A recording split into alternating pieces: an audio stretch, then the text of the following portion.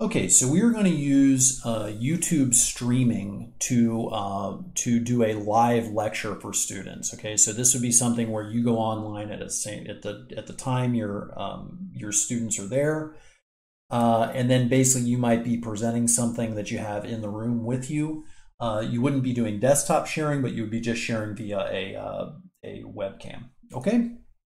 All right, and then you can connect with the students uh, with their chat, which I'll show you. Okay. Uh, also, it's good because you can archive the content, which I will show you also.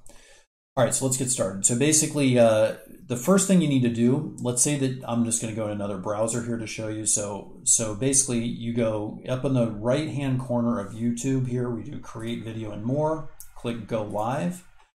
And if you've never um, done a uh, live stream before, they have to verify your account. So basically, you do text me a verification code, put in your phone number, click submit, you know, put in the code and then your account will be verified. Okay. All right. So once you've done that, uh, basically, if you go in onto YouTube,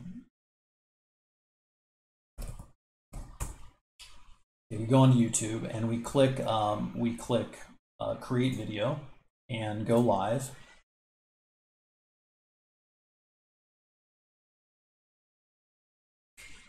Okay, so this so this is like a one one off type thing, right? So so say if you were doing this is like a per class per day or per lecture type thing. Okay, so so you're probably to want to um, to want to archive these. Um, so as you go, so you so your live stream is going to have a um, a uh, a URL and a title, right? So so um, so I think the best way to do this is basically we're going to go we're going to go ahead and do math 101 chapter 1 lesson 1 right?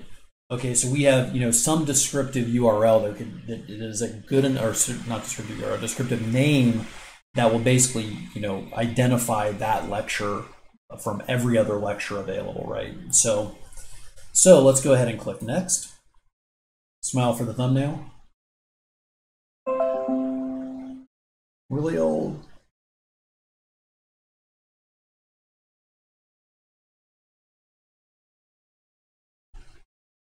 Okay, so so there I am on the thumbnail. It's a great picture. Okay, so uh, so then we're going to go ahead and go share. Okay, so basically there's our shareable link. Okay, and then we're we're going to go ahead and we could put it on our home screen. You know, uh, so uh, so basically, what I would do is I would do um, I would do um, math 101.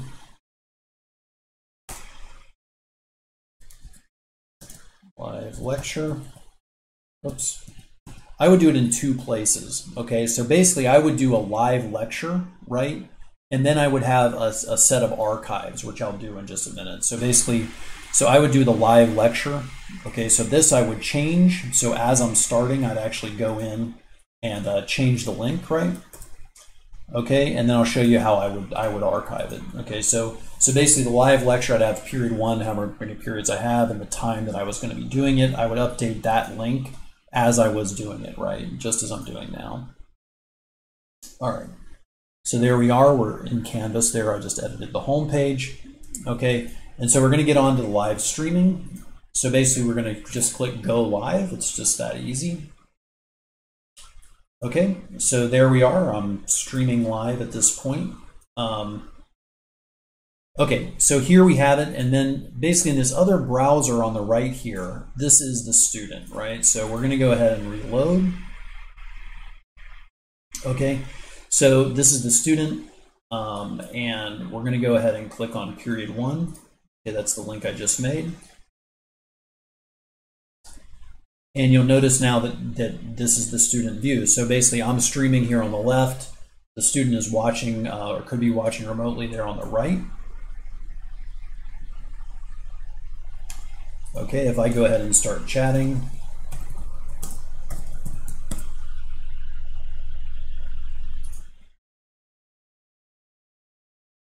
Okay, so there's a live chat right there uh, which is which is nice. Okay.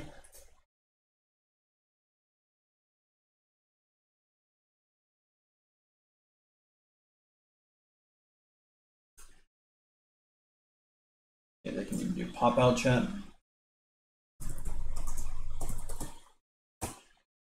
Okay, and there's a student saying something back. Okay, so, okay, there we go. All right, so that is that is the live uh, live stream there. Um, okay, so let's say I end the stream. Okay, and I want to go ahead and end it. So the stream is finished. Uh, then I can go ahead and I can actually edit it in the studio. So so there it's now at a couple different locations. So before I do that, let's go ahead and not edit it there. Okay, so if I go back into YouTube, if I go back into YouTube and I go to uh, my videos, I go to not my videos. If I go to YouTube Studio and I go to uh, videos, you'll notice that live videos, there's just another tab up here. So go to um, live videos and then notice that basically that's that's the video I just took, right? So so this is the permanent stream. Uh, and basically the student then can watch a replay of the video. Okay, so there we are on stream Okay, so then the live streams are just saved just like any other video. You can go back in and add a description, whatever it is that you want to do. Um, and then basically this is the this is the URL for you to archive. Um, at this point, if we went back uh, to the stream URL, it also gives us the uh, the archived version of it, which is nice. Okay, so you don't really need the second URL, I guess. We're just going to dismiss there.